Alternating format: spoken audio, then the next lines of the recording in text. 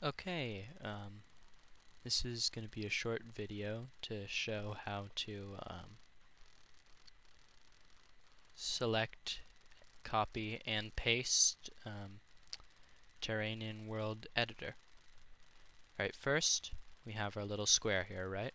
So we want to hit the space bar and that switches us into selecting mode.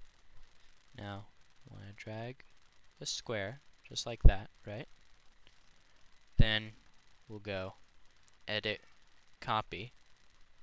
You can also hit just control C as the shortcut. Then want to go to edit and paste and that'll get you your square. You can also use control V of course. Then you just click and your terrain has been pasted. Alright, uh, thanks for listening.